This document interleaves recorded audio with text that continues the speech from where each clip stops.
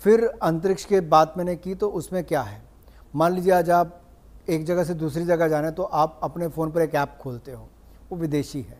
क्योंकि यहाँ के युवाओं को या यहाँ की इंडस्ट्री को कभी मौका ही नहीं मिला तो उनको लाभ मिलेगा।